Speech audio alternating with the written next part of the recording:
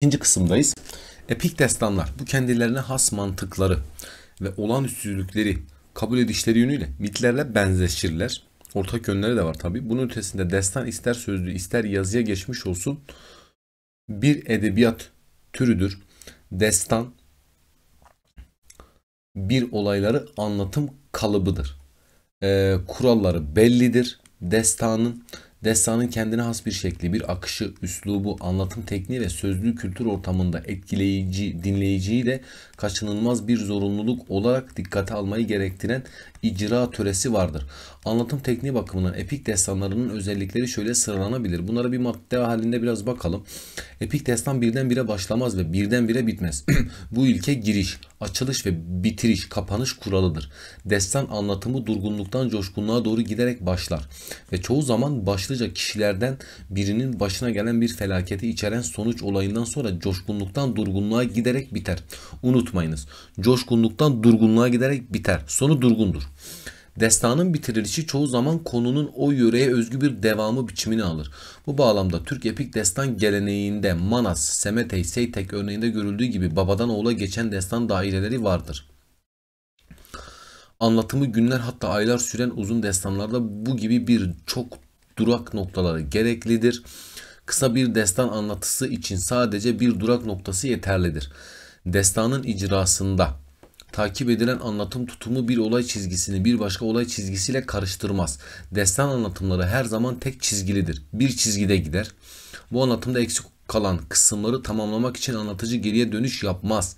Eğer daha önceki olaylar hakkında bilgi vermek gerekiyorsa bu bir diyalog veya konuşma içinde verilerek aktarılır. Geriye dönüş e, tekniği kullanılmaz.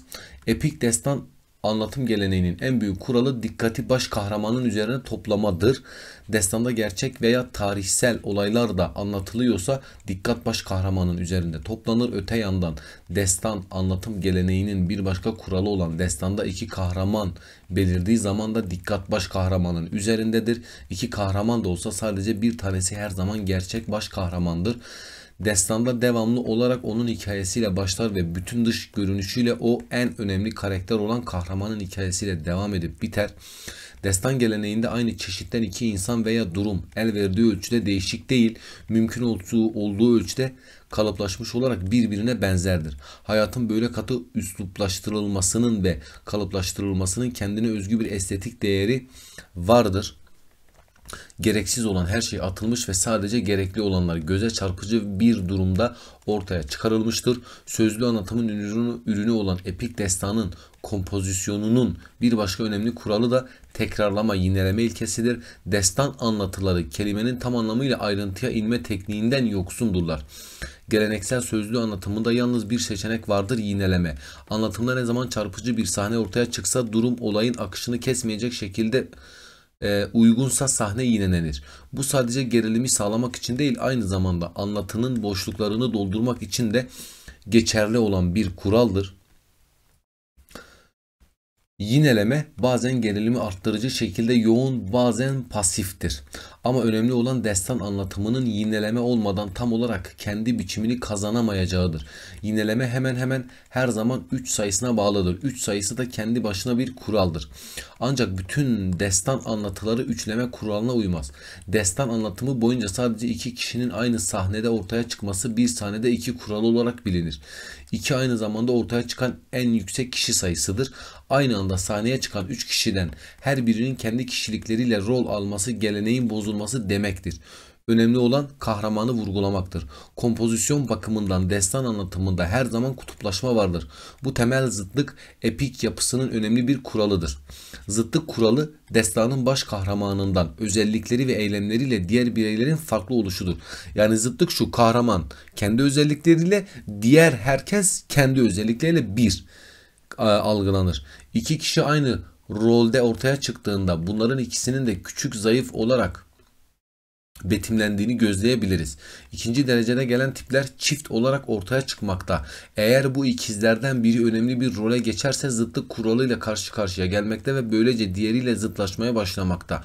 Anlatımda bir sürü kişi veya nesne peş peşe ortaya çıkınca en önemli kişi öne gelir. Buna rağmen sonuncu gelen kişi anlatının duygudaşlık doğurduğu kişi olan baş kahramandır. Anlatımın ağırlık merkezi her zaman buradadır. Asıl kişidedir. Destan icrasında anlatım, anlatılan bütün kahramanların yan yana geldiği bu sahnelerde doğruğa erişir. Bu sahnelerde anlatının kahramanları yan yana gelir. Baş kahraman ile atı ve onun mücadele ettiği karşı kahraman veya ejderha bu büyük tablo sahneleri bir geçicilik duygusu değil, bir çeşit zaman içinde süreklilik niteliği taşımakta ve tek başına dinleyen kişinin kafasına bir resim olarak işlemektedir. Büyük tablo kuralı, büyük tablo özelliğiyle destanlar toplulukları etrafında birleştiren ve onlara biz duygusunu hissettiren güç taşımakta. Olay örgüsünde entrikanın birliği destan anlatımı için bir ölçüdür. Bu entrika birliği olay örgüsünde birbiriyle gevşek ilişkilerle bağlanmış ve belirsiz hareketlerin olmayışını sağlar. Destandaki bütün anlatı öğeleri en baştan beri ortaya çıkma ihtimali görülen ve artık gözden uzak tutulamayan olayları yaratması şeklinde gerçekleşmektedir. Destan icrasındaki birçok anlatı öğeleri kişiler arasındaki ilişkileri en iyi şekilde aydınlatmak için bir araya gelirler. Zaman, mekan, olay gibi. Bu destancının anlatı öğelerini seçimi veya ayıklamasındaki yeri ve rolü onun geleneği taşımadaki ustalığıyla birleşir. Destancı dinleyicisiyle destan vasıtasıyla kurduğu iletişimle bağlamsal şartlara göre destanını icra edip şekillendirir.